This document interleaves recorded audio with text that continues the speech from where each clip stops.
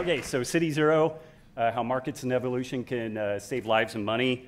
Gave you a little bit of a background on this. Uh, I, I, um, one other uh, thought on the bacon piece. I had lived for almost 48 hours knowing that bacon was the most nutritious pork product on the planet.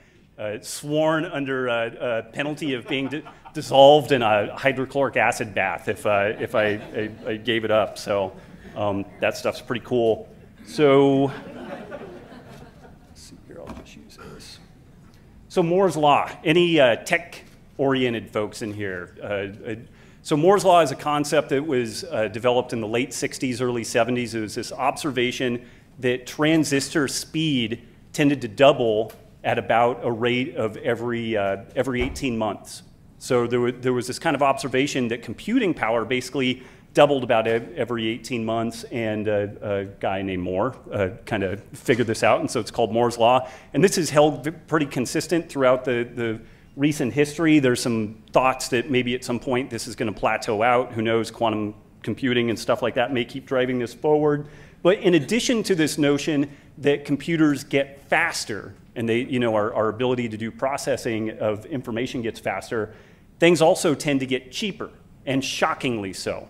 And so we, we uh, see that as cost per unit of computing drops, the uh, computing power goes up.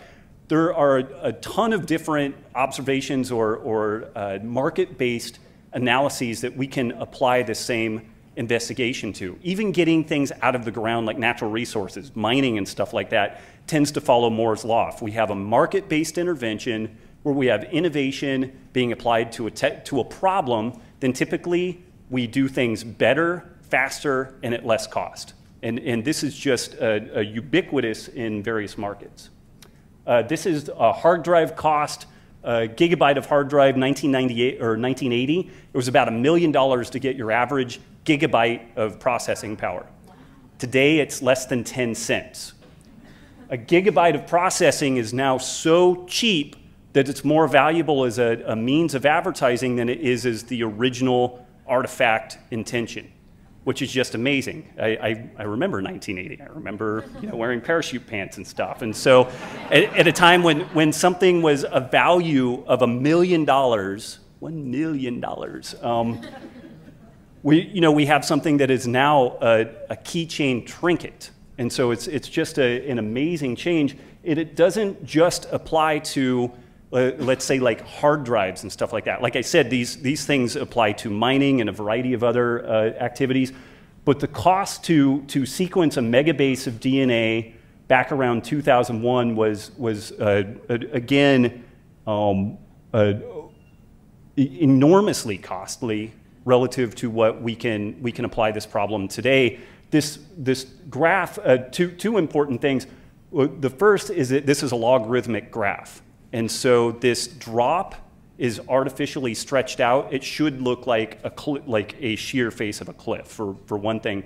The other part that's interesting to point out with this is that the first phase of this um, decreasing costs of sequencing DNA was largely an outgrowth of the government undertaking the Human Genome Project and starting to, to sequence uh, large amounts of human DNA, trying to, to you know, get a, a handle on what the human genome is where the precipitous drop occurs, who knows what caused that? Yeah, private enterprise intervened in the process. And the whole, the whole thing became, it diverged away from Moore's Law at a shocking rate. Uh, it wasn't just a, a, doubling of the information. Again, it became a, a logarithmic change in the way that this innovation occurred. So today, let, us say, let's ask the question uh, to the audience. Do we know more today about genetics than we did 30 years ago? Yeah. How about pathology, biochemistry, epigenetics? I don't even know if epigenetics was a term 30 years ago. So we know more about damn near everything that there is to know, but yet costs of medicine, this, this is a, uh, from the uh, Congressional Budgetary Office. It says orthodox government as you could get. There's nothing controversial, no tinfoil hats. Nothing weird about this at all. And the projection is that by 2050, we will be spending, we will be in debt 300% of GDP. A massive allocation of that is going to go to healthcare costs. Why is that? How can that be? We know more about all of these problems.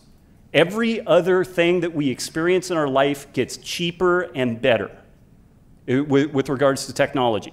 We understand pathophysiology of any disease that you want to talk about better than we've ever known at any time, and tomorrow we're going to know it even better. But yet, every projection that we have is that costs are going to go up, and they're going to go up in a way that is nonlinear. It's exponential. And a, another uh, graph from the Congressional Budgetary Office we cannot hang this on demographics. We cannot simply hang this on an aging population. It is clear that the bulk of these costs are related to healthcare. And the bulk of the problems related to healthcare is tied into diabetes, diabetes, you know, any, anything that you want to talk about that. I wanted to bring in some information. Well, quickly, this graph it, uh, ranges um, the, uh, uh, this is from Managed Care Magazine. In the middle bound, we're talking about one in three Americans being uh, officially type 2 diabetic. The upper bound, we're basically between 1.5 and 1.2. I don't know how you get a half a person being diabetic, maybe a leg falls off and it becomes like a zombie entity and goes on or something.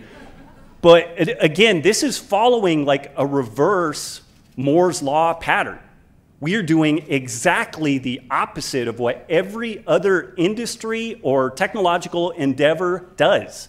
I, it, you pick a thing, I can Google it and find that uh, some sort of innovation, some sort of discovery is driving the prices down on something except medicine. And why the hell is that? And can we sustain paying that?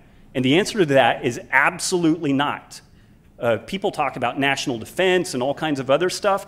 If you want to bankrupt this economy, and there are several other economies around the world that are relatively wealthy that have been uh, uh, beneficiaries of a demographic bump when you have a small aged population, a large youthful population that is very productive, and they have very giving uh, social welfare programs and whatnot.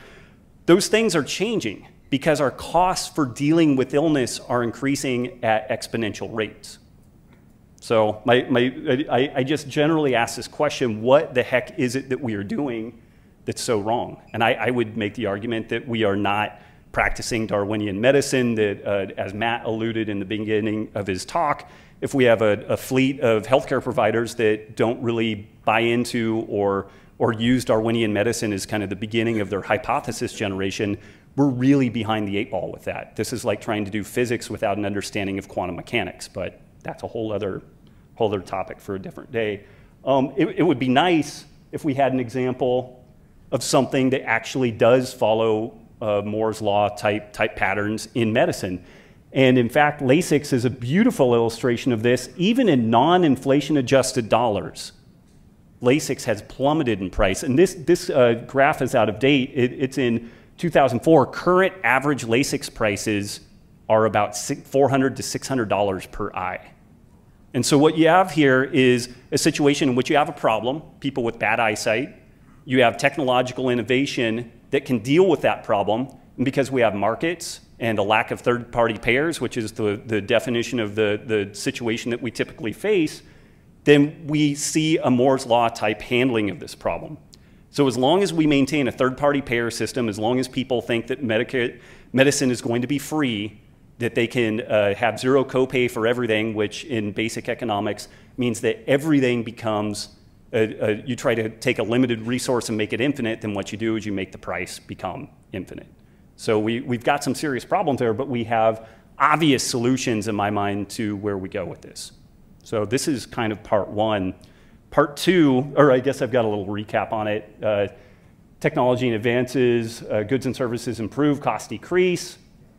We know more about pretty much everything under the sun. How can all this stuff be happening? So, so I'm hoping that this next piece of the story is a little bit of the solution. Hopefully, it's the beginning of something that we as an organization, as a movement, can embrace. If, if, I, if, if what is happening here is legit, what I, I think is occurring, that it, it, may again be the skinny end of the wedge towards an opportunity to change things in a really profound way. So, back around 2001, three uh, University of Nevada, Las Vegas police officers succumbed to uh, cardiac events within a year's time, less than a year's time. the cost to retire an officer in the state of Nevada, and different state, a, a lot of states view uh, police, military, and fire, anybody in that profession, if they have a stroke, a heart attack, an autoimmune disease, a, a host of different conditions, if they develop that condition, whether they are on the job or off the job, it's assumed to be an on-the-job workman's comp L&I issue. So not all states are like that, but many states are like that. Nevada happens to be one of them. So the cost to retire an offer, the officer when they suffer a heart attack or a stroke is about $1.2 million. That's the initial on the books number that people write down when they're trying to do their budgeting and when they do risk assessment and whatnot. The real costs are actually about 10 times this amount. And this is part of the reason why municipalities all over the country are going bankrupt because they are reporting that they are going to spend $1 amount on things, and then they're spending 10 times more on a variety of issues. And this is a, a perfect illustration of this. So this, this uh, situation with these uh, doctors, or with the officers getting sick, having cardiovascular disease, costing the, the state and the university huge sums of money, to say nothing about the, it, uh, I hope it's implicit that there's also the human life cost here.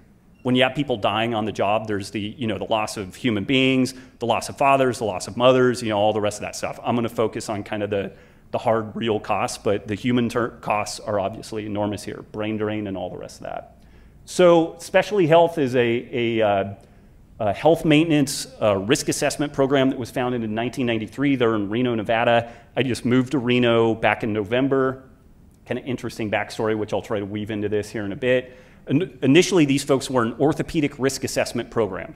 So they worked with uh, labor and industry claims, workman comp claims, uh, trying to figure out effective uh, preventative measures for orthopedic issues, you know, like carpal tunnel, uh, C-spine, low back issues and stuff like that, and then uh, trying to recommend uh, successful uh, physical therapy medical procedures to offset costs. So the, these guys have been around since 1993. One of the folks at the University of Nevada, Reno, who was in the police department, heard about the folks at UNLV, and then they knew the, the people at Specialty Health, and they said, hey, do you think you guys could develop some sort of a risk assessment program? We, we had three, three officers almost die due to cardiovascular events down in Las Vegas. We have a similar problem here in Reno for both the police and the fire. Could you guys possibly develop a risk assessment program? And they said, well, we can certainly look into this. And so they started putting the pieces together on a risk assessment program. They did standard blood work, HDL, LDL, total cholesterol, triglycerides, kind of the, the standard boilerplate uh, blood work. Uh, they did Framingham scores, which if you want to blow your brains out, just try to figure out what the hell a Framingham score is. It's both worthless and uh, induces about a 50% suicide rate in those who study it. Um, they, they implemented a, a uh, when, when they put people through the blood work and they were found to have a high risk of, say, metabolic issues, based off the blood work that they were looking at, which at that time they were missing a ton of stuff, they would recommend a high carb, low fat American Heart Association diet. And their results were absolutely dismal. They were frequently worse than the groups that did not receive intervention. Let that one sink in. These guys are getting paid by the city of Reno to do a risk assessment program trying to mitigate cardiovascular disease. And the people going through their high carb, low fat, Framingham score oriented program were typically developing type 2 diabetes at a higher rate, triglycerides going up, cholesterol going south, and they were kind of like, what the hell is going on? I mean, they, they were following the American Heart Association guidelines. They were doing the due diligence that physicians are supposed to do and, and follow the rules of the consensus. And the results that they were seeing were obviously subpar.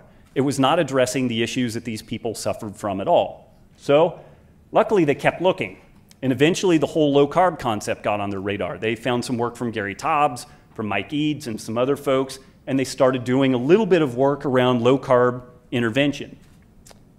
Uh, they got in contact with the National Lipid Association, which these guys are pretty cool. They, they are far more sophisticated than the American Heart Association, and uh, they, they will even openly endorse a ketogenic diet for uh, high cholesterol issues, elevated uh, LDLP, and stuff like that. So they're, they're pretty solid. There's still some things that I would like to mold and, and uh, change in the way that they, they look at things, but they're, they're pretty solid.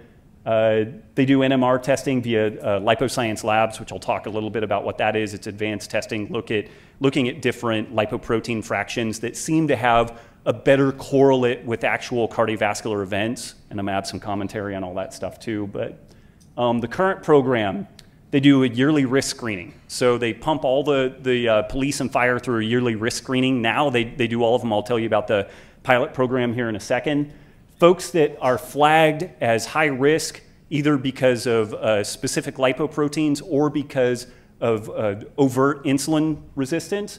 Uh, those folks receive a low carb slash paleo diet. The paleo thing is kind of a newer addition, the orientation towards gut health and what, whatnot, which I'll, I'll get to here in just a bit.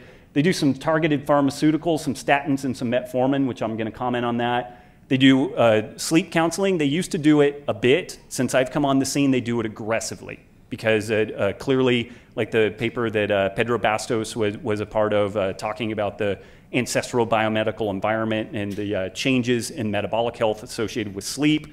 I, I, think if people are sleeping well, it's very difficult to kill them. If they're not sleeping well, it's hard to keep them alive. So th this is a, a huge problem in police, military, fire, and medical situations in which these people are forced to be in suboptimum sleep conditions almost constantly. And so we need to figure out strategies for mitigating those, those effects. And so we do sleep counseling and a, a variety of uh, kind of support material with that. We recommend uh, metabolic type conditioning, circuit type conditioning to help reverse uh, insulin resistance and, and whatnot. But that we, we are trying to emphasize an appropriate dose and, and not kill folks with it.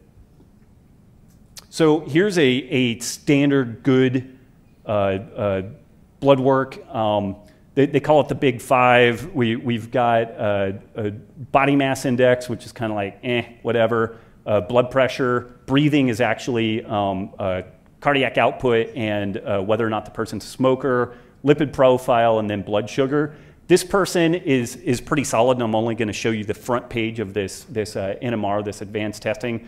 But this person has a, a, a this is nice also for police, military, fire, because it's like red light, green light, yellow light kind of gig. It's real, real easy to get. It's kind of like a bunch of red lights, you're FUBARD, you know, and and a uh, bunch of green lights are pretty good. But the uh, this first one, it, when you look at the advanced testing, the uh, uh the further analysis of the lipoproteins also look good. But I'm going to show you one that really qualitatively is not that much different. And this is what we call the discordance model. This is the person that typically their doctor doesn't really notice. Uh, they, uh, if you can't see the numbers, there's, I have a chart at the end, which we will we'll be able to uh, look at all of the, the numbers. But the concerning things here, we, we see an LDL cholesterol of only 117. And so for most physicians, that wouldn't be particularly concerning. That triglyceride that I think is in the 300s would cause me to probably wet my pants if I were the person's doctor. A lot of docs, this is not a flag for them though. They look at HDL, LDL, uh, his, his HDL is okay. It's a little on the low side. And again, I've, I've got a chart here in just a little bit to, to show you what those are exactly. Uh, the upper right, I guess your left-hand corner, LDLP, it's above 2,000. We want that number ideally to be below 1,000 typically. Um, there's some contention with that, like uh, Dr. Attia and myself and Chris Kresser, we've been talking about this a little bit. Uh, if you have somebody who has LDLP that's quite elevated like this, but they're eating a low carb, non inflammatory diet, doesn't matter. We don't know. Uh, the folks at the National Lipid Association think that it does matter, but uh, it's an opinion because we don't have data to really support it at this point. Uh, I'm kind of of the opinion that the elevated LDLP, unless it's familial hypercholesterolemia, is actually a symptom of something else going on. It's not the problem. It's actually a symptom of systemic inflammation. I'll try to build my case on that a little bit, but this is what they're looking at with this guy. And so his triglycerides were 362, total cholesterol was not super high, but normally this guy would fly under the radar. They'd send him back out at work, and he's the, the, this guy looked like uh, uh, off of a Wheaties box. He's a triathlete and ended up having a heart attack while giving a um, uh, what's the you know the um, neighborhood watch. He's given a neighborhood watch talk to a bunch of like you know 80 year old women, and he collapses on their coffee table, and they barely save his life. But they, they uh, so the the importance here, the the idea that's going on we could have equal amounts of total cholesterol. It, when we're talking about these different cholesterol fractions, and folks like Chris Masterjohn and a lot of other people are much more knowledgeable on it than I am, but the, the, uh, you have lipoproteins, and those lipoproteins are trying to carry lipid type fragments around our body, either carrying it from the body back to our, our liver in the case of HDL, carrying it from the liver out to the body in the case of LDL. And depending on the composition of these particles, if they are small and dense, then they could be carrying the same total amount of cholesterol, but we have more particles. And the more particles we have, the higher likelihood we have of these things associating poorly with the vascular endothelium and causing some sort of damage and, promoting atherosclerosis or a plaque or something like that. So the, the takeaway is that if we could have the equal amount of LDL cholesterol, but yet different LDL particles, LDLP. And the higher the particle, the supposition is that we have a higher statistical probability of something going wrong. That's kind of the, the basic idea on that. So this is an after, and I, I believe that these guys, let me back up. Um, this was a four month intervention, I believe. And so afterwards, we've, we've shifted things around pretty nicely. The LDLP is now almost below 1,000, and then this, this chart kind of summarizes things pretty nicely the dude's like a mesomorph, like he's he's just kind of brick poop house kind of kind of build on him, and uh, so he dropped some weight, but he's really thick, meaty dude. Uh, LDLP went from 2,200 down to 1,000. Uh, the other notables, the triglycerides, are still for me way too high. Like in, in this scene, I would really like to see those more along like 50 to 70 or something like that. Like I, I still think that that's too high and it's showing some like that insulin resistant score, uh, I would like to see lower, but obviously a good improvement. So another person here, uh, this is what they call dead man walking. And uh, this dude, when he came in, it was, it was you know, a nightmare right from the beginning.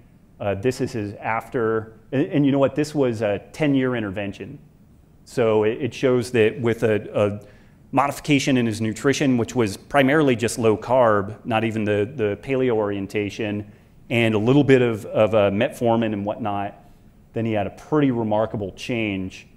And yeah, like the, uh, do we have the, oh, we don't, yeah, the triglycerides are, are better in this one than, than what the other one was. So we have one more, and this I believe is a six year change in similar kind of dead man walking, and, and the, uh, the summary chart is, I, I think, really valuable. So over 2,200 in the LDLP, about 1,000 at the end. Really, really remarkable triglyceride change. So I, I like seeing numbers like that. What it tells me is the person is very, very insulin sensitive. So we're getting no collateral damage with up, up regulation of pro-inflammatory pathways with, with this person. So that, that, that, still is kind of a question, you know, like can you get LDL or uh, uh, insulin sensitivity in this range, but then potentially have higher LDLP? Would, would that still be as problematic as somebody who has high oxidative stress and an in insulin resistant profile. I don't, I, I don't think the two are equal, but that stuff we'll have to figure out. So this stuff does some pretty remarkable work, um, uh, uh, Specialty Health. Uh, they, I think they have 1.5 million people in their database, and so they have an enormous pool of data that they've been accumulating since 1993. So they're able to do some really nice statistical uh, kind of forecasting on you know, if we have a white male, 45 years old, five foot nine, blah, blah, blah, you know, and extrapolate all of the data, they can do some pretty nice forecasting about disease rates. And so the pilot study that was performed, there were 33 participants at a cost of about $1,000 per person based on the metabolic changes that we see in these 33 people. And the 33 were the, the uh, there were 200 cops and firefighters that were screened. 33 of them were found to be at high risk. So these are the people that were the, the likely, very high likelihood of a stroke or heart attack within the next five years. So they did these in. No choice. They had to go into the program. Yeah, and this is part of the cool thing, which is, is really important to point out. The chief of police had his life saved with this program. Chief of fire had his life saved with this program. Six of the city council members had their lives saved with this program. The CFO of the three largest uh, casinos in town had his life saved with this program. So this is an example of the Old Boys Club actually doing something right. They got together, and these people who have significant power and significant sway saw a problem. They saw that their police and firefighters were dying. They saw a huge cost in regards to life and, and the, the cost of retirement, and they actually got in and did the right thing. And so the reason why this is working in part is because the chief of police, chief of fire, this is mandated stuff. When they tell you to do this, this is your job to eat this way. This is your job to exercise. So it's not a, a compulsory, you, you know, like you do it. And that's part of the reason why this stuff has worked. Are they seeing a reduction in cardiac incidents? Well, we're seeing all of the markers that should indicate that. And given that it, has been running, this, this part of the program has been running five years, then we're, we, we are starting to accumulate enough time on a large enough data set that it, it's favorable. But we need some more time to run to be able to fully, fully address that. The estimated return on investment is a, a 20 to 1 ROI and about a $22 million return on investment with that uh, pilot study alone. So I'll, I'll, talk about the, the overall program at the end. But I, I'm still, as cool as all this stuff is, I'm still really unimpressed with pieces of it. I still think we're treating symptoms. I still think that elevated LDLP is, is symptomatic of other things or uh, uh, based on the metabolic profile, it may not be that big of a problem at all. Uh, I think that it may be a sign of intestinal permeability, systemic inflammation, et cetera. Um, I, am really curious. I, I, got thinking about the mechanism of action, like the, the National Lipid Association folks use metformin and use statins significantly. They use very low doses, but they use them consistently. But one day I started thinking about metformin and what metformin does, it's actually a pretty cool little drug. It improves insulin sensitivity both at the liver and at the muscle level. And it just seems to do amazing things. Like the, when uh, uh, folks are uh, going in for uh, reproductive medicine, you know, typically they'll look, look at the look at the male, look at the female, and everything. But typically, the first line of intervention for females is they put them on metformin which is an insulin sensitizer because uh, insulin and estrogen and, and, progesterone and everything are very uh, tightly lined up. But I was thinking about all the benefits that we seem to get empirically, observationally from metformin. I, I was thinking, I wonder if metformin actually has effect on LPS, lipopolysaccharide. Lipopolysaccharide is the, the part of the exo, uh, the outside coat of bacteria and mammals, basically any vertebrate that gets bacteria into its system, has a huge inflammatory response. And an interesting thing I, I think I mentioned last year in my talk, it's physiologically indistinguishable type 2 diabetes from acute sepsis.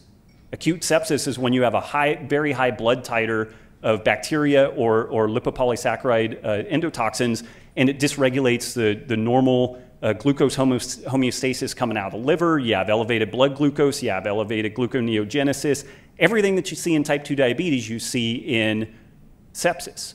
And so I've been wondering is a bunch of you know, what we're seeing with systemic inflammation and the beginnings of insulin resistance, leptin resistance, is this all related to low grade sepsis? And so part of, part of this thing that I, I started kind of putting together is that LDL particles are critical. They're part of the innate immune system.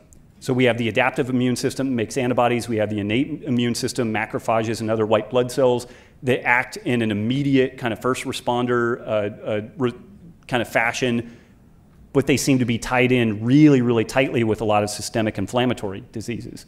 So LPS binding protein circulates in association with ApoB containing lipoproteins, enhances LDL and VLDL interaction. What all that stuff means is that when we have an infection, or some sort of septic event, I would make it an analogy here of uh, gut permeability, celiac, non-celiac gut permeability, a variety of issues that go into that. Lipopolysaccharide makes its way into our system. It is very, very toxic to us and causes profound metabolic changes. So our body really is highly motivated to deal with it. You have lipopolysaccharide binding protein, which can then associate the LPS with our, our endogenous lipoproteins, HDL, LDL, et cetera. And if it goes through that route, then we can neutralize the LPS in a fairly non toxic fashion. If it goes the other way, though, if this LPS associates with the CD14 protein on macrophages and, and other white blood cells, we then pump that through into the liver and we have a highly toxic response, basically akin to type 2 diabetes. This is that beginning of systemic inflammation. Possibly this leads into leptin resistance, a whole host of stuff. So, and, this is also just to back up, like, a, a, normal response that the body would have to chronic infection is to upregulate cholesterol production because the cholesterol is attempting to remove these uh, LPS particles. So that, that's some of my thought about um, uh, LPS and, and uh, systemic inflammation. But I started thinking about metformin as it relates to all this stuff. And one day I was thinking, I wonder if metformin has some effects on mitigating uh, LPS lipopolysaccharide induced uh, hepatotoxicity. And so I opted into PubMed, and sure enough, we found uh, uh, several papers that seemed to indicate that metformin had potent anti uh, hepatic toxicity effects with regards to LPS, which I, I thought was pretty cool. And then I had another thought. I wonder if metformin has effect on gut permeability. And sure enough, it does. And there's a pretty cool, uh, the, I, pulled a couple of things out of the paper. The protective effects of metformin treatment on the onset of fructose-induced non-alcoholic fatty liver disease were associated with protection against the loss of tight junction proteins, the, the tight junction proteins, occludin and zonula occludens 1 in the duodenum of fructose-fed mice and the increased translocation of bacterial endotoxin found in mice only fed with fructose. Taken together, these data suggest that metformin not only protects the liver from the onset of fructose-induced non-alcoholic fatty liver disease through mechanisms involving its direct effects on hepatic insulin sensitivity, but rather through the altering of intestinal permeability and subsequent the, subsequently the endotoxin-dependent activation of hepatic Kupffer cells. So Metformin is a really cool little drug. It, it uh, improves insulin sensitivity in a variety of ways, and it seems to prevent uh, uh, lipopolysaccharide induced systemic inflammation, and it seems to improve intestinal permeability, or at least prevent the, the normal signs and symptoms of intestinal permeability. This is almost like a mirror image. It, it's a drug that treats all of the problems that we're basically addressing in this kind of ancestral health uh, framework. It's pretty, pretty cool stuff. So I, will just really briefly talk about statins. For a long, long time, uh, the main mode of action in statins has been suspected or, or largely known to be the anti-inflammatory effects. So again, when we're talking about modifying cholesterol levels and risk factors, I, I, don't really think that it has that much to do with the cholesterol modification numbers. It has to do with the systemic anti-inflammatory effects that statins carry. And this is an old paper. I think it's 2002. Yeah, so it's a pretty old paper. We, we have way more data on this now. So when I came on the scene with the, spe the specialty health folks, I moved to Reno, and about three weeks after being there, uh, Dr. Greenwald shot me an email and he said, Hey, we really like your work. We'd like to do some lunch with you. And I sat down and these folks showed me all this stuff. And I was like, Holy cats, man, this is, this is super cool. And I, I, started looking at what they were, they were tracking. They were doing a low carb intervention. I said, Hey, have you guys started tracking autoimmunity or intestinal permeability or any of that stuff? And they're like, No. And it turned out that both Dr. Greenwald and uh, uh, Dr. Cox, Jackie Cox, who is kind of the statistical super brain behind this whole thing, both of them have autoimmune conditions. Neither one of them really knew it, but we, we kind of dug that up via, via blood work. And where they were eating a low carb diet previously, and their, their carb would inevitably be like a piece of toast and stuff like that. We ended up doing an autoimmune protocol, which we've talked about quite a bit for, I don't know, maybe five, five years now. We've had some inkling of an autoimmune protocol, variety of paleo. Both of them have responded remarkably well. And we've started going back and looking at the data that they've had on their, their police and fire that they've tracked, and we've dug up some, some kind of below the surface autoimmunity in these folks. So th this is what we're looking at now. Uh, screening for intestinal permeability, also for uh, overt autoimmunity. Um, the stuff that we have cooking next, we have a program that's been running now for three months, four months, that encompasses all of Reno police and fire. The estimated savings on these folks, based off the numbers that we have had currently, over a 30 year period is about $1.2 billion. Yeah, amazing, amazing. And at a time when it, the, the, if you look at almost any corporation, any municipality, typically the greatest increasing costs that they are facing is healthcare costs. It's going up at between 10 and 15% a year.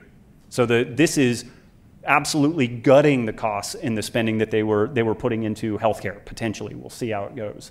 Uh, we- this is, you know, the low carb intervention with the addition of this kind of paleo gut permeability, systemic inflammation mindset, lots of sleep counseling. Um, we're going to spread this program to a global audience. We've been contacted by 45 municipalities globally thus far. Uh, we have Scandinavia, uh, Australia, New Zealand, the UK, all over the United States. Specialty Health already had a very robust database and, and networked uh, uh, health maintenance program. So we're able to collect data on all these folks. So basically, these folks are going to be given the tools to implement these programs locally. We will do the data collection, and then we're, we're going to kind of roll from there. Uh, we're going to data, uh, consolidate that data with those folks. Um, the next step also, uh, we're working on a healthcare provider education covering uh, uh, trainers, coaches, uh, allied health professionals, MDs, so that we can get folks up to speed in this ancestral health model. And then the big goal is that we're going to develop a health insurance company pushing HSAs and referrals back to these gyms. I, have said for a long time, some of you folks may know that I've had on and off stuff with the, the CrossFit entity and whatnot, but I think gyms like that literally should be our primary care medicine. Uh, we shouldn't go to the doc in the box for primary care. We should go to a local decentralized gym where we do functional training and we get sunlight and we have community and we have CSAs in there. So the development of stable, well-run gyms is actually a huge part of what I'm going to be up to. And educating those people and then creating networks with allied health uh, providers, physicians, et cetera, and then providing uh, direct to consumer blood testing so that we can help those folks, whether they're at high risk or low risk. But the whole thing also is if we can develop a healthcare model that is based on Darwinian medicine and the ancestral health model, it is going to be so much more cost effective than anything else out there. I think it will crush things. And uh, th there was a couple of people mentioned that we need to get more science coming out of the back end of this stuff.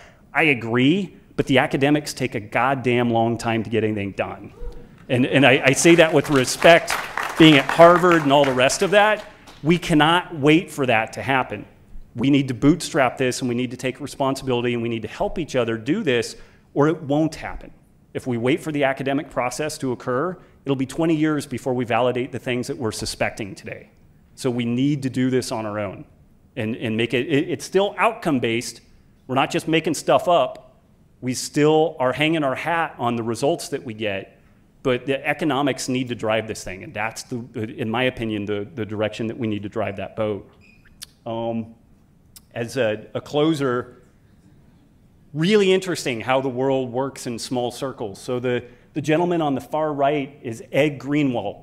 He is Dr. Greenwald's father. He became a, a high ranking person at the FBI. The gentleman next to him with the mustache, does anybody know who he is? Anybody, particularly in the anthropology realm? His name is Robert Braidwood. Does anybody know that name? We should all. I, I didn't know, so I'm not gonna gonna hang you guys out to.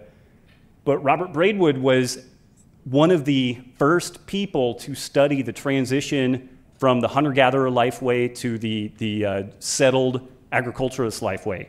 He wrote some of the very first papers detailing the changes in stature, the changes in dentition, the changes in health status of hunter-gatherers as they transitioned into agriculturalists. So he literally is one of the first people to ever study this topic that we are now enmeshed in, right, right in the, the middle ground. Part of the significance is that he was a, a super tight friend of the Greenwald family, and Dr. Greenwald, the, the co founder of Specialty Health, the reason why he went into medicine is because of this man. And he's had a lifelong fascination of uh, genetics, evolution, and, and everything obviously health related. And so this guy is the guy that contacted me after I was in Reno for three, three weeks, and he's the one that's been running this, uh, this risk assessment program. And it all largely is an outgrowth of this man, that it's somewhere in, in the, you know, the history of all the anthropology side of this, we can largely attribute his work as being foundational to it. So it's really, really amazing. And so we'll dedicate this to the next generation. I,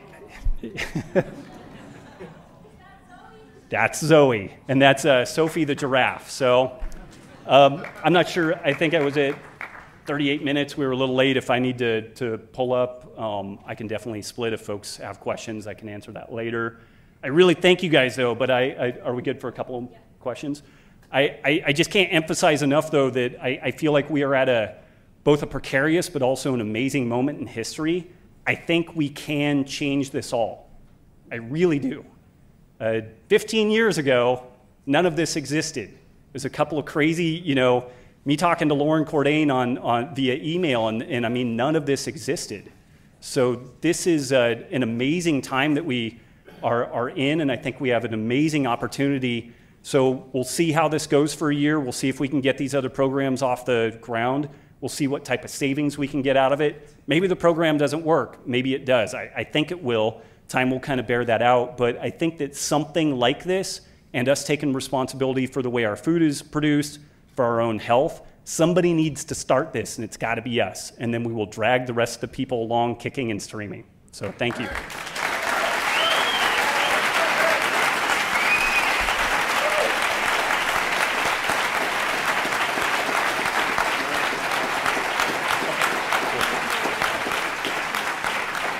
Thank you. So we have about five minutes for questions. Hi, very good talk. I was just wondering, with the metformin data that you were uh, showing us, uh, does that permanently affect how the body functions, or is it only while people are taking metformin? It, it's only while they are taking metformin, but you do. It, it's both to some degree because you are changing certain parameters of inflammation that if the person goes off metformin, they tend to get a long lag period with it. And I think that if you use it as an intervention, like I think for like police, military, fire, and, and medical workers who are facing constant sleep deprivation and have an indu- a sleep-induced metabolic derangement, I think that those folks should be on low-dose metformin across the board.